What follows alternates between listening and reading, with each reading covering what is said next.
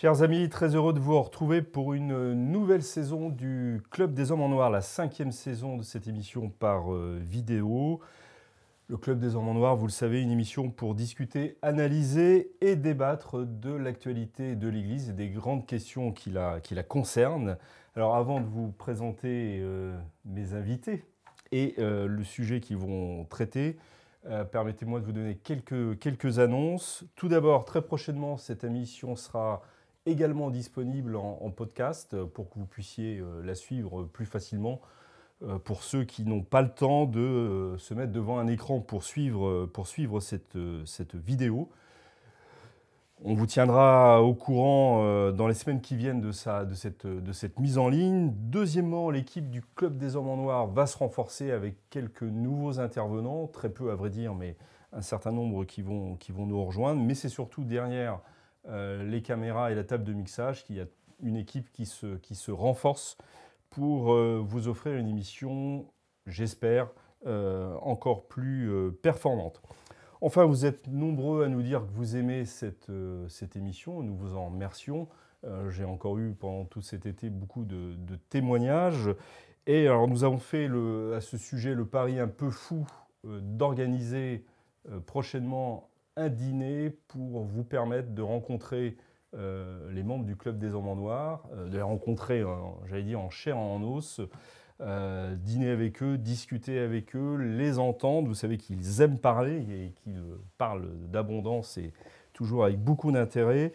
Alors la date n'est pas encore tout à fait fixée, donc si vous voulez être tenu au courant à la fois de cette date, des modalités euh, d'inscription. N'hésitez pas à nous envoyer un courriel à l'adresse qui va euh, s'afficher sur votre, sur votre écran et qui sera également disponible dans euh, la présentation de cette émission. Cette adresse, ce courriel, elle est très simple. Hein. C'est club des hommes en noir tout attaché. Et enfin, vous le savez, partagez cette émission, faites-la connaître autour de vous, cliquez sur le, fameux pouce, surtout si vous cliquez sur le pouce qui est euh, levé et mieux encore, donc faites un don pour euh, aider au développement du club des hommes en noir. Je compte évidemment sur vous et sur votre soutien. Merci beaucoup d'avance. Alors, les invités de ce jour. Les invités de ce jour, l'abbé Claude Barthes. Monsieur l'abbé, bonjour. Bonjour. L'abbé Grégoire Cellier. Bonjour et bonjour à tous les auditeurs pour cette nouvelle saison. Monsieur l'abbé, merci d'être présent. L'abbé Marguerite Fucci. Bonjour à tous. Ça y est, je me rends compte en vous, euh, en vous disant bonjour, j'ai oublié de rappeler que vous étiez de la fraternité sacerdotale Saint-Pidis, que vous étiez diocésain. diocésain et que vous étiez également diocésain. Et notre ami Guillaume de Tuelois. Euh, diocésain aussi. Diocésain aussi, c'est la question que j'allais me poser. Euh, diocésain aussi, ça, je, fidèle de l'Église catholique, directeur membre du synode certainement, directeur du euh, Salon belge parmi euh, beaucoup d'autres activités euh, que vous dirigez. Bonjour Philippe et bonjour aux auditeurs. Puis-je dire aussi que je suis l'aumônier du pèlerinage Summum Pontificum qui se tiendra, pardon la publicité, à la fin du mois d'octobre et auquel tous les... Et alors, puisqu'on est dans la page publicité, qui se tiendra où Soyez précis. Qui se tiendra à Rome. À Rome À Rome. Le 28, 29 et 30 octobre, avec messe à Saint-Pierre de Rome le 29 octobre. Et messe et messe euh, traditionnelle. Oui, traditionnelle. Ah bah, euh, aujourd'hui, il faut. Messe traditionnelle, messe traditionnelle. Vêpres pontificale euh, présidée par le cardinal Zuppi, président de la conférence épiscopale italienne, au Panthéon le 29. Et messe par M. Agostini à Saint-Pierre de Rome le 30. Très bien, merci Monsieur Merci de, de, cette page de publicité. Alors le thème qui nous, qui nous réunit, ce sont les, euh, les cardinaux. Pourquoi est-ce qu'on va parler des cardinaux? Tout simplement parce que euh, il y a eu un consistoire à la fin du mois d'août. Le pape François a créé une vingtaine euh, de nouveaux cardinaux. Parmi ces nouveaux cardinaux, un Français. C'est quand même, il faut le signaler, l'archevêque de Marseille monseigneur Jean-Marc euh, Aveline. Euh, il y a eu euh, pas mal de modifications dans l'organisation même de ce consistoire. il y a eu des interventions qui ont créé pas mal de polémiques, en tous les cas de questions. Les,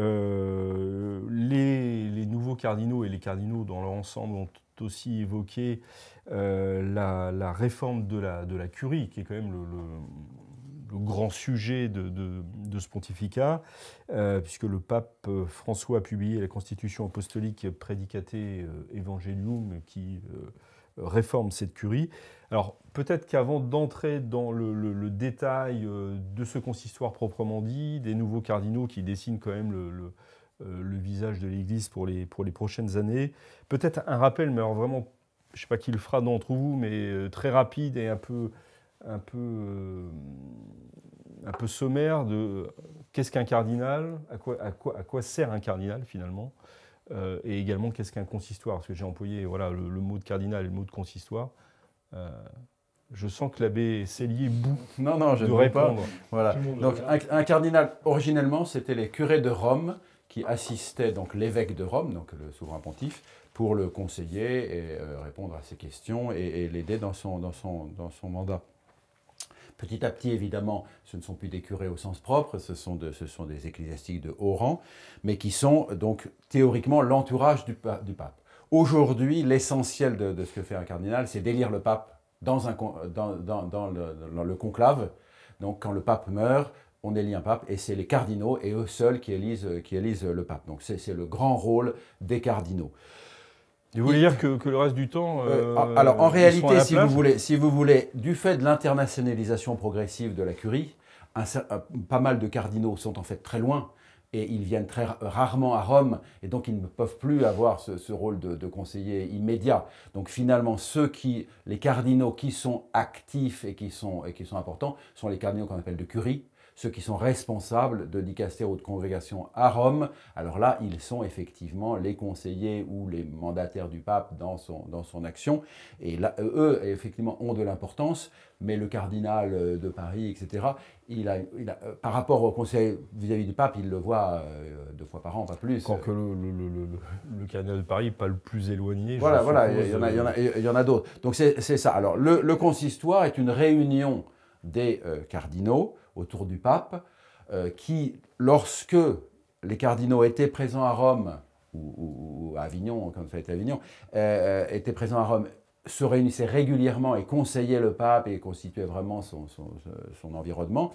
Là, ce sont des réunions qui maintenant sont assez formelles, dans lesquelles le pape fait un discours, peut-être quelques interventions, mais ça n'a pas une, ça n'a pas une, à mon avis, ça n'a pas une très grande portée. Donc,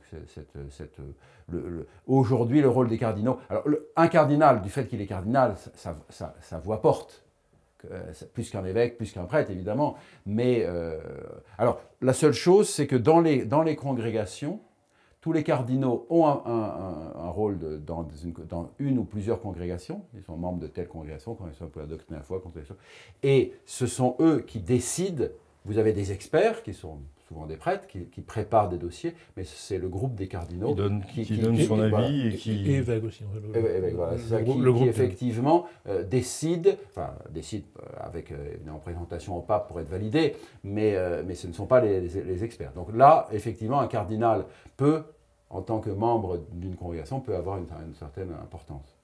Un nouveau cardinal français, Jean-Marc Aveline, Guillaume de Tuelois, c'est une indication que j'allais dire, l'Église de France compte, euh, compte encore aux yeux du pape François, dont on dit qu'il regarde la France de manière euh, très, très lointaine. Euh, écoutez, enfin, évidemment pour la, pour la France, c'est plutôt, c'est plutôt bien d'avoir un nouveau cardinal, mais je ne suis pas certain que ça signifie que la France redevient une puissance chrétienne aux yeux du Vatican. Je, L'impression que ça donne, c'est qu'il il a été euh, nommé cardinal parce qu'il était en phase avec un certain nombre de sujets du pape François, notamment les, sujets de dialogue interreligieux qui sont sa spécialité académique. Mais, euh, le simple fait que, par exemple, ni Lyon ni, euh, ni Paris ne soient cardinalistes aujourd'hui, est plutôt le signe que le pape continue à se moquer comme de l'an 40 de la France, voire continue à vouloir faire tomber la foudre sur l'Église de France, comme on lui a prêté le mot. La foudre, euh, La foudre. Il aurait pu être cardinal de Paris, puisque ça lui a été proposé, mais qu'il a refusé, préféré. Alors, vous parlez de, du cardinal Aveline. Du cardinal Aveline, qui aurait pu être nommé à Paris. Qui, auquel il était proposé d'être archevêque. Le siège de Paris, oui. Et qu'il aurait donc. Et qu'il a refusé. Il a, il a accordé une, un entretien assez intéressant au, Figaro, dans lequel il parle notamment de la. Je parle du, toujours du cardinal Aveline, hein, dans lequel il parle de la, situation des, des traditionalistes euh, après mmh. traditionnistes mmh. custodes. Comment interpréter ce qu'il a, ce qu'il a pu dire? On peut l'interpréter comme faisant partie, que lui, cardinal Aveline, fait partie de ces, on va dire, euh, prélats éminents qui ne sont pas dans la ligne de persécution euh, à tout craint, mais qui sont au contraire euh, libéraux. C'est homme de gauche, hein, le cardinal Aveline, c'est clair.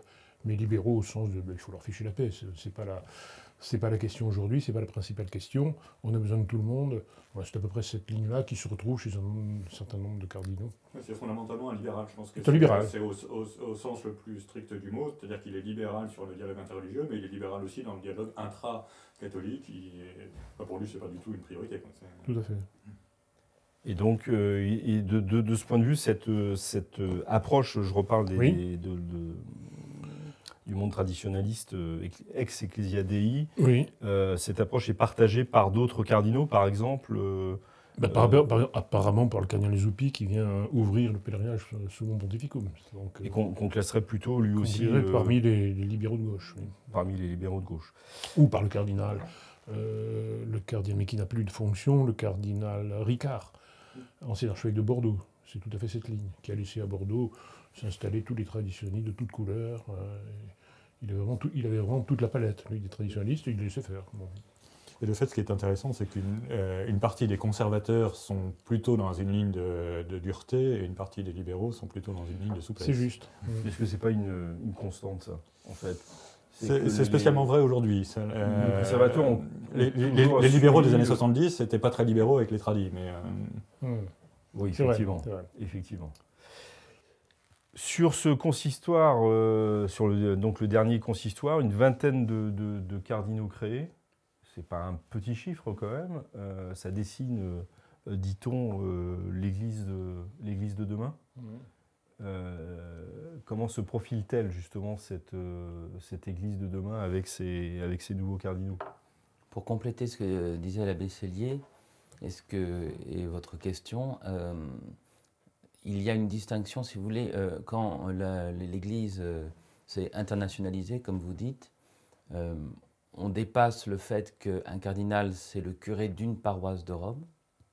Et vous avez d'ailleurs trois collèges chez les cardinaux. Vous avez les cardinaux archevêques, suburbicaires, des grands évêques, pardon, qui sont auprès du pape avec des rôles très importants, comme le cardinal Ratzinger, qui était lui cardinal évêque vous avez les, cardinals, euh, les cardinaux qui sont euh, anciennement de paroisse, mais en fait ce sont des évêques dans les pays à travers le monde.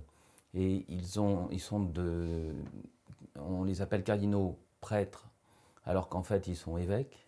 Et vous avez les cardinaux. Là, vous euh, êtes en train de nous perdre. Hein, voilà. vous avez les cardinaux diacres, qui sont les, les, plus petits cardinaux. D'accord, donc il y a une hiérarchie dans le collège cardinal. Et donc quand, quand on nomme 20 cardinaux, pour revenir à, à votre question, ah, c'est bien ça vous avez différents titres qui sont donnés pour différentes fonctions.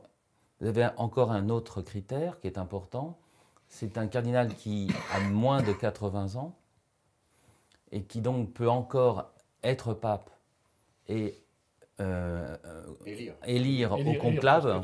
et élire au conclave. Oui, pardon, il peut être pape même à 80 Ah oui, non, quel, que soit l'âge, on peut. On être peut être pape. On peut être élu. On peut être, élu hors du collège voilà. Et par contre, pour avoir, la pour, avoir la, pour pouvoir voter, il faut avoir moins de 80 ans. Hmm. Donc quand le pape nomme des cardinaux de plus de 80 ans, c'est honorifique la plupart du temps, hmm. puisqu'ils ne sont pas électeurs. Alors, dans une liste de, nominations, il faut toujours voir ceux qui ont plus de 80 ans, et ça c'est honorifique. C'est un théologien, prêtre, c'est un, vieil évêque qu'on qui, veut honorer.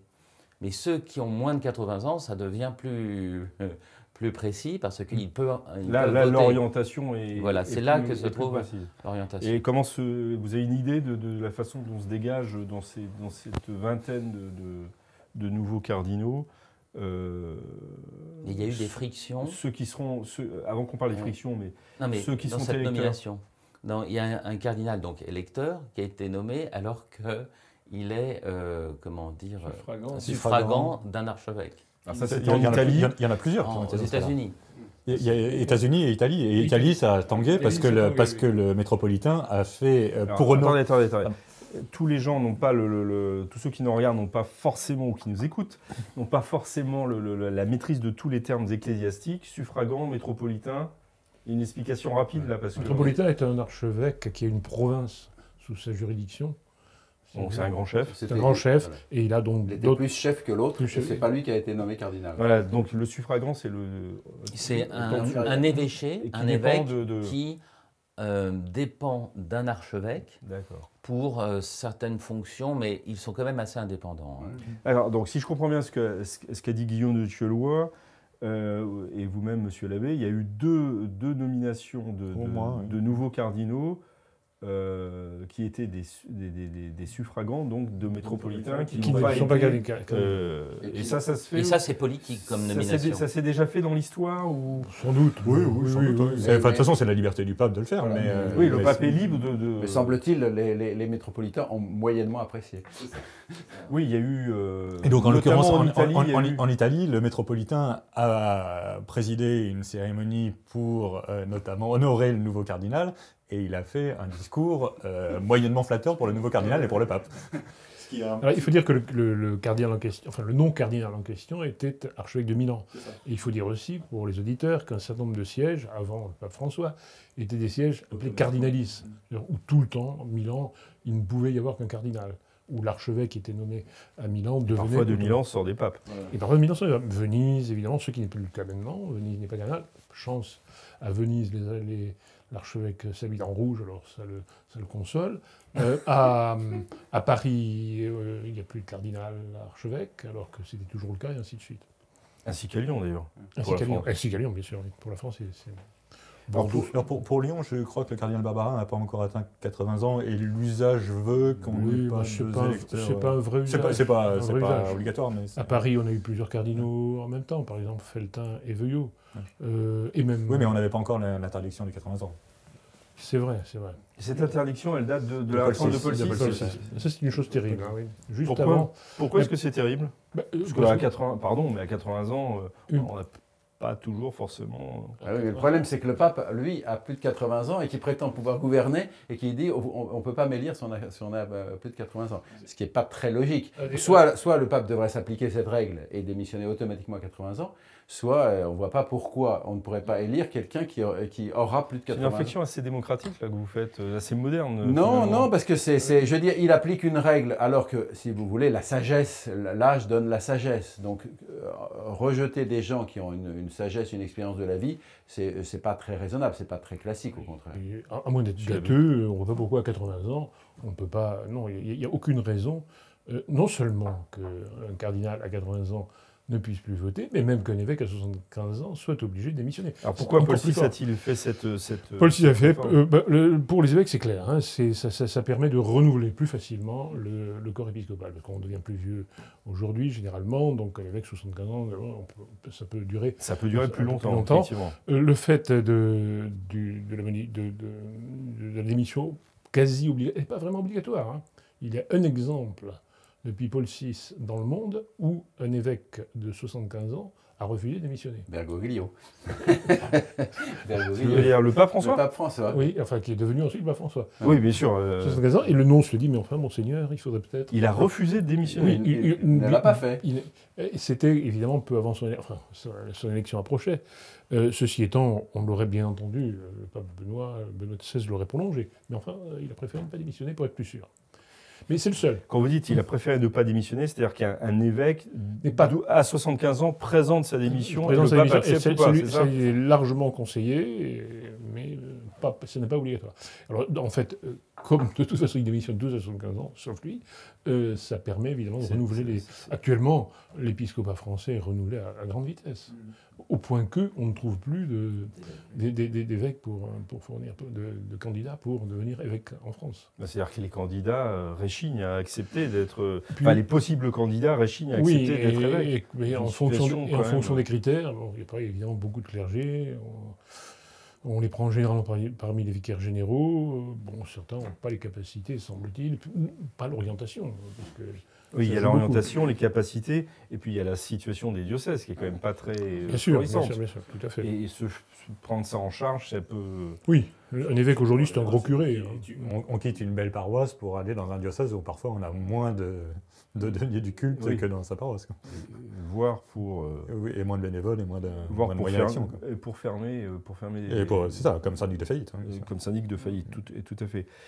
Je reviens au dernier consistoire. Euh, parce que votre, votre distinction était intéressante, puisque effectivement, tous, tous les nouveaux cardinaux ne sont pas forcément électeurs, euh, électeurs du prochain. Donc, du prochain donc moins important théoriquement. Est-ce qu'on, donc, est-ce qu'on on voit un peu quand même comment se dessine euh, l'orientation des électeurs actuels du, du, collège cardinaliste? Ils sont tous les, ceux qui viennent d'être nommés sont tous dans la ligne du pape François, c'est clair.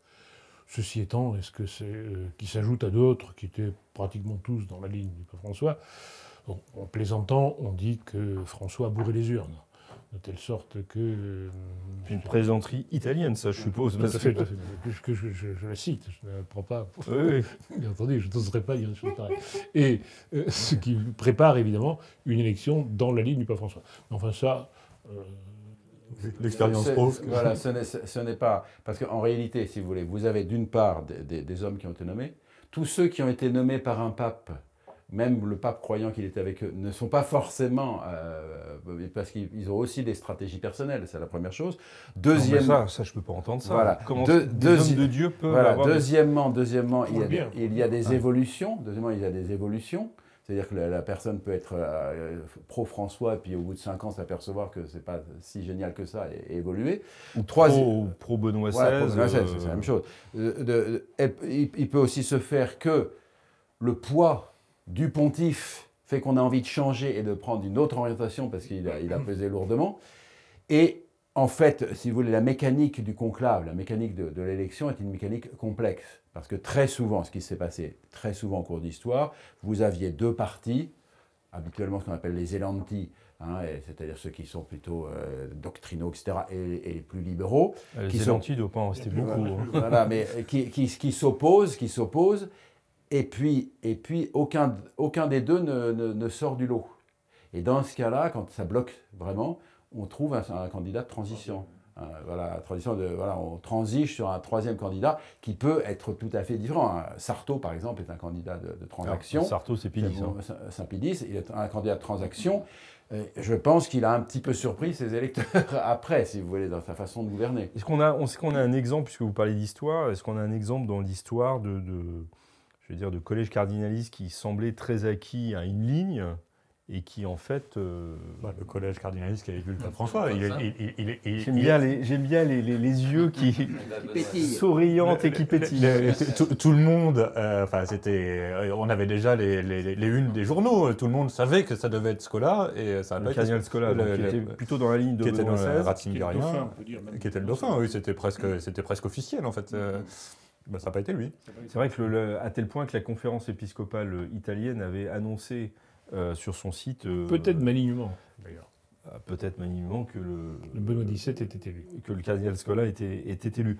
Ça, c'est l'histoire récente. Mm. Est-ce que dans l'histoire plus lointaine, pour nous éclairer Ce qui se passe en tout, on peut dire toujours. Enfin, ça, vous n'allez pas répondre à ma question. Non, mais je vais répondre ensuite. La, la, plupart du temps, c'est qu'il y a une réaction, euh, surtout quand le pape a eu une, une ligne, on va dire forte, oui, une, une, personnalité forte et pesante et d'une manière ou d'une autre. Hein. Et, donc on réagit contre. Ce n'est pas nécessairement une réaction. Euh, pour dire vrai, dans ce qui va se passer lors du prochain conclave, on peut être sûr, certain, qu'il y aura une réaction contre le style François.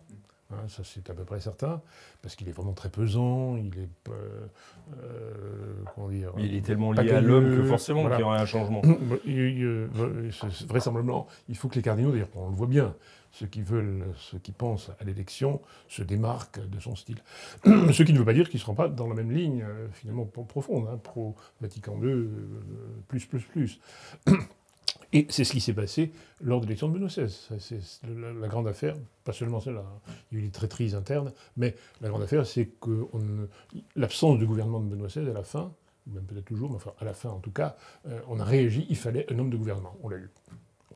Un homme à poigne, c'est ça. Parce que le, côté pesant du pontife précédent peut être euh, qu'il a une autorité très forte, qu'il est très euh, directif, mais ça peut être exactement l'inverse. moi, je pensais, je pensais au cas de Célestin V. On a beaucoup euh, comparé mm. Benoît XVI et Célestin V, puisque c'est le seul pape qui est démissionné volontairement avant Benoît XVI.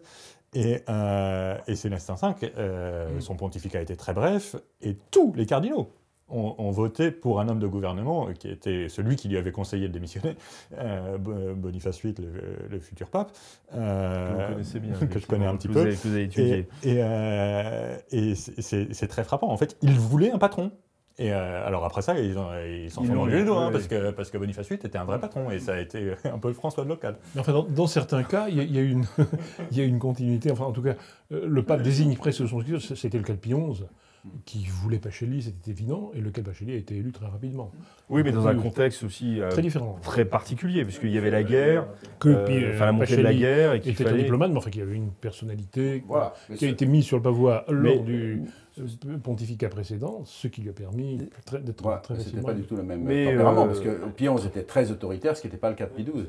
Est-ce que, est que, par exemple, on peut estimer que l'élection de, de Benoît XV est en réaction au pontificat de, de, de, ah, certainement, de Saint-Pédis. Certainement. En partie, en qui partie, était quand même un en pontificat aussi, mais, mais euh, et doctrinal et autoritaire. Je pense, aussi que, le, que, le, que, les circonstances de la guerre, là aussi, euh, encore une fois, il y a, c'est une mécanique complexe. Le, le, conclave est une mécanique complexe dans laquelle interviennent euh, des, des, des, des, des, choses tout à fait différentes, par exemple la guerre ou des choses comme ça, qui vont changer, parce qu'on se dit, bon, il faut, par exemple, il ne faut, faut, faut, pas tarder, il faut tout de suite donner un chef, parce que sinon c'est le bazar. Donc on, va plus vite que des négociations subtiles. Mais par exemple, un, un, le, le P6, P6 qui a été élu, me, me semble-t-il, au bout de 18 mois, après une quarantaine d'exclusives, après ah une quarantaine d'exclusives par les par les par les, puissances, c'est à un moment le cardinal euh, Bernis, je pense, le cardinal de France, qui a dit bon allez on arrête, je désigne ce gars-là et puis on vote pour lui et puis c'est terminé parce qu'on hmm. en avait marre.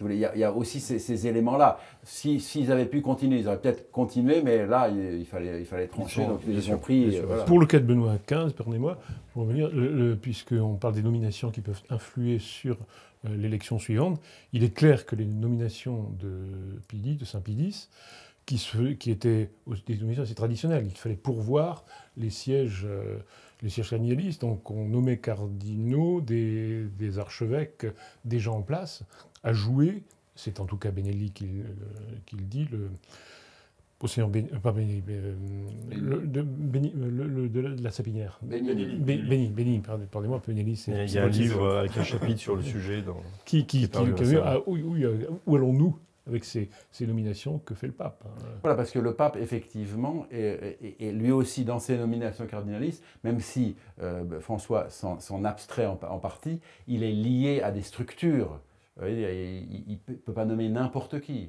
Il y a aussi des traditions, il y a aussi des sièges importants, etc. Donc il essaye de s'en affranchir, mais il n'en s'en affranchit pas absolument. Et, accessoirement, il y a à mon avis, il y a un sujet qu'on qu mésestime beaucoup en ce moment, qui est que euh, une des obsessions du pape, c'est d'internationaliser le Sacré Collège. Et en l'internationalisant, il peut. Euh, en fait, c'est très difficile de savoir ce que ça va donner, parce que je, pense à, des exemples précis. En Afrique, par exemple, il, a, nommé des archevêques, euh, donc comme cardinaux des archevêques, euh, qui ont la réputation d'être dans la ligne franciscaine mais euh, je sais de sources certaines que dans leur diocèse, c'est pas du tout la ligne qu'ils défendent. Donc je sais pas du tout ce que ça va donner. Je ne veux pas dire du tout qu'il est, qu'il est trahi avant même euh, d'être mort. Je dis simplement, je sais pas du tout. Et, en fait, c'est encore plus difficile d'anticiper. Oui, absolument. Le champ est ouvert. il, est, il, est, évident que le pape espère nommer un, collège cardinaliste à son image pour que son action se prolonge. Mais, mais, mais ce n'est pas forcément le cas. C'est-à-dire que ces, espérances, qu'il ne verra pas puisqu'il sera mort, ne sont pas du ciel, pas forcément, pas missionnaires. Ils ne seront pas forcément celles, qu'il avait. Oui, il peut être aussi au purgatoire ou même en enfer. Voilà. Je veux dire, de très nombreux évêques sont représentés sur les frontons des cathédrales allant en enfer. Dante, Dante euh, quelque part en enfer. Messieurs, messieurs, euh, nous n'allons pas entrer dans, ce, dans cette question. Mais il y a des possibilités très variées. Voir celui-là. L'abbé Cellier, même démissionné. L'abbé Cellier, ou du ciel, ou du ciel. L'abbé Cellier a parlé de structure il y a un instant. Euh, desquelles structures le pape François tente de s'affranchir, mais qu'il faut un peu qu'il respecte. Euh, il y a un sujet qui a été visiblement euh, traité par les, cardinaux, alors peut-être après le consistoire, puisqu'ils n'ont pas pu, semble-t-il, le traiter complètement pendant le consistoire, c'est la, réforme de la curie. Après la constitution apostolique Predicate Evangelum, euh, qui, qui, qui, qui, entend donner plus de place aux laïcs dans euh, la direction des congrégations. Il y a deux cardinaux euh, qui sont intervenus sur le, sujet, qui visiblement s'y opposent au nom du Concile Vatican II, donc ce qui est quand même assez, mmh. assez paradoxal, avec un pape François qui est pour reprendre votre euh, expression Vatican II plus plus et des, des cardinaux qui réagissent euh, plus encore Plus plus plus. Plus plus plus, d'accord. Euh... je, tiens à ce qu'on me cite euh, correctement. Excusez-moi, mais, vous avez raison. Ça, les citations doivent être correctes. Je, je mettrai les guillemets même de manière plus précise la prochaine fois. Les, les, deux cardinaux en question, c'est le cardinal Casper et le cardinal Ouellette. Euh, l'un et l'autre ont fait parler d'eux euh, récemment mm. euh, pour des raisons diverses. On ne les attendait pas forcément ensemble, si? Non. non. Ni, surtout sur ce thème-là. Mais, enfin, le cardinal Casper est plutôt considéré comme un, mm. un, progressiste. Vous me dites si je me trompe, et le cardinal Wallet plutôt comme un conservateur centriste, on va dire maintenant. Il, semble s'être largement rallié au pape François, peut-être pour sa carrière ou peut-être pas. Mais euh, alors, euh, Guillaume, vous disiez qu'on en, fait, on ne les attendait pas sur ce sujet. C'est à la fois surprenant qu'ils soient ensemble et c'est et, c'est surprenant que les deux viennent contredire euh, quasiment public, enfin, contredire le pape publiquement. Euh, et le contredire en plus avec un argument qui, qui est complètement...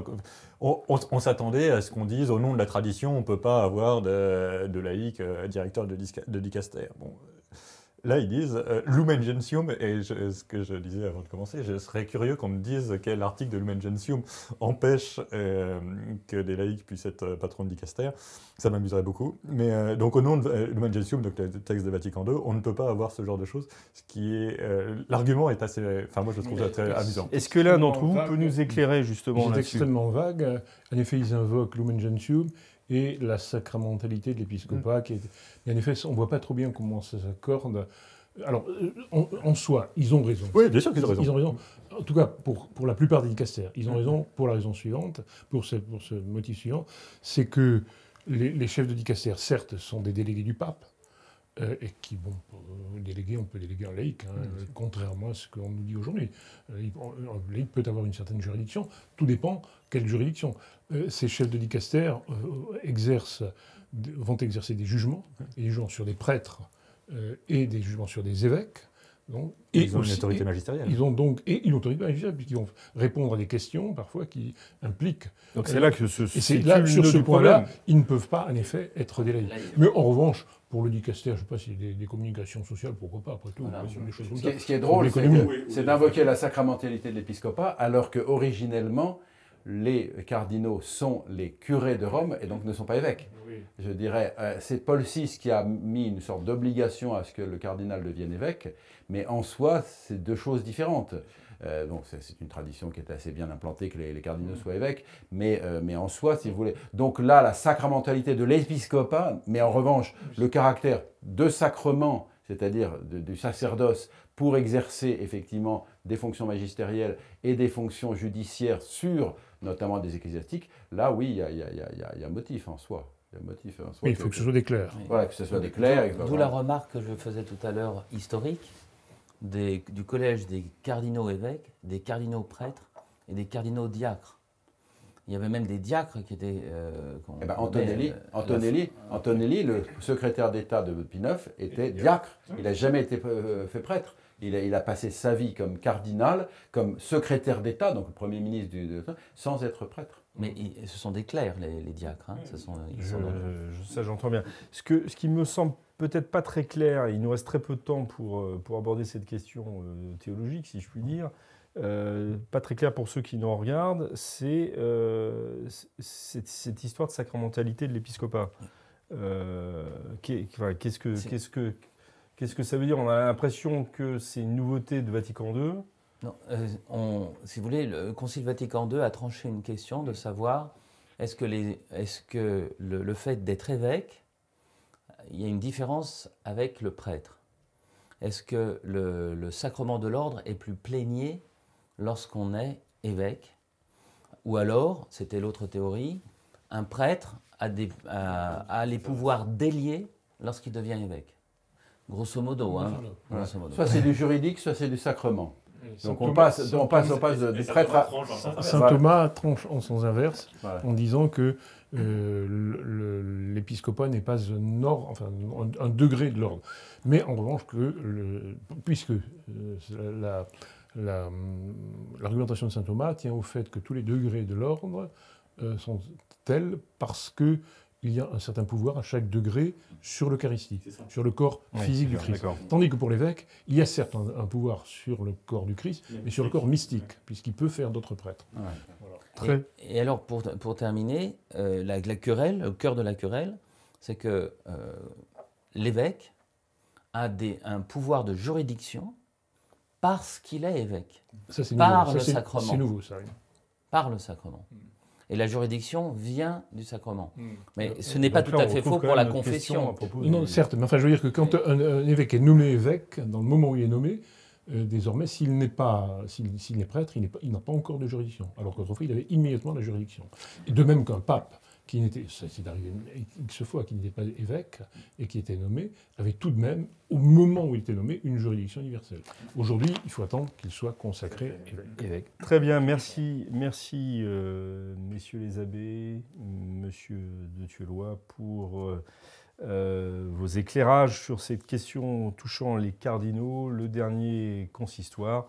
C'était la première émission de la cinquième saison du Club des Ormans Noirs en vidéo. Nous nous retrouvons la semaine prochaine pour un nouveau sujet, de nouveaux débats. D'ici là, que Dieu vous garde.